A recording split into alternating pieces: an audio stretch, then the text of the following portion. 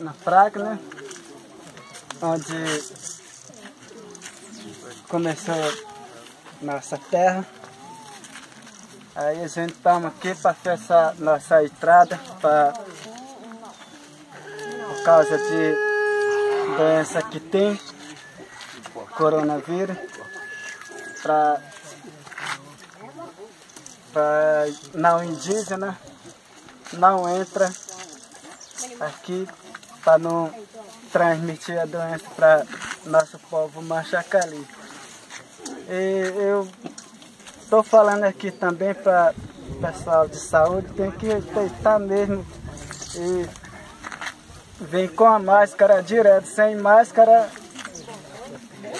Aí alguma pessoa tira foto, nós fazemos denúncia.